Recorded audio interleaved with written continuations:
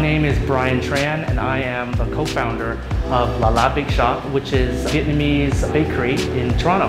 We are really well known for our salted egg products as well as our durian products and our fusion of Western technique with Vietnamese flavors. I actually lost my job in 2020. My partner and I decided, you know what, we are passionate about food, we're passionate about our culture. Let's bring our idea of uh, a Vietnamese, Southeast Asian inspired bakery to Toronto.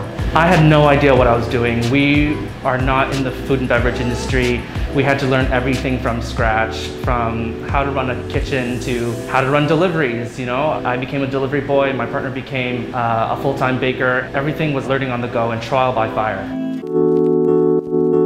Vietnamese cuisine is really diverse. It's so much more than pho and, uh, and banh mi, uh, which are great things. But uh, what I hope people really take away is that it's an incredibly rich food culture. A lot of our products, we really focus on the textures uh, in addition to the taste. A lot of the flavor combinations are a little bit odd, but strangely delicious. The first product we ever released was our roasted seaweed roll cake that had such a positive response from the Vietnamese community. People really loved that it wasn't too sweet. It was had a sweet and salty kick to it. That's when we knew that we had something here and that we should run with it. Uh, we have salted egg lava loaves, which just melt in your mouth. We sell salted egg croissants as well as salted egg roll cakes. We are hugely popular for our durian cakes. So whether you want a little mini durian cake or a huge eight inch extravagant indulgence for your birthday, we do it. All our durian is imported from Vietnam. It's super tasty.